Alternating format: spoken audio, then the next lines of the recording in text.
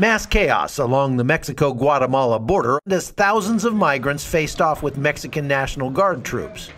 This standoff is a result of the Trump administration pressuring the Mexican government to stop these waves of illegal caravans before they get to the United States. But these Hondurans still plan on making it to the U.S. any way they can. The goal is to get to the United States if God lets us. But if He gives us opportunity to work in Mexico, then we work in Mexico. This is a repeat trip for many of these migrants who say this time Mexican authorities are taking a much stronger stand. They want to cross by 50 and more because they are afraid. In social media are saying that they are deporting them. So this is the river between Guatemala and Mexico. And as you can see, there are boats out there in the water that are crossing illegally, but this river is not very deep, and so you can actually see some people just waiting. It's almost impossible for the Mexican military to stop people from crossing illegally. And as a matter of fact, I was just talking to a couple of soldiers over there that said, we don't stop anybody from doing anything uh, as far as crossing goes. But the Mexican police are instead pursuing a different strategy.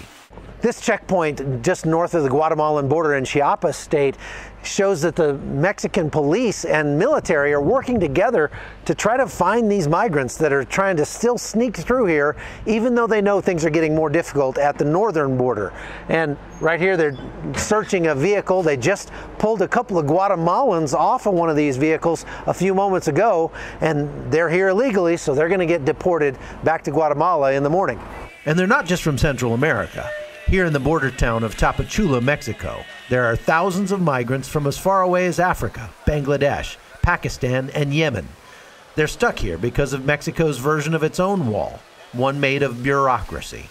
Every time you go to immigration to make a paper, they give you a different appointment. An appointment for fingerprint, an appointment for picture, an appointment for everything. And sometime you go, they don't take you. Understand? They don't want you to be going up there. The current situation has caused smuggling fees to skyrocket from about $2,500 a year ago to upwards of $10,000 today.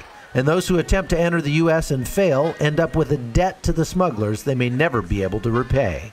Still, this Haitian migrant is relying on his faith to get him a piece of the American dream. Donald Trump is a president. I respect the president, but let me tell you, God has a, a plan for me. And my faith will take me to America, and I think Donald Trump will never have the right even to touch me. These Mexican troops, however, might beg to differ. From Tapachula, Mexico, I'm Chuck Holton for CBN News.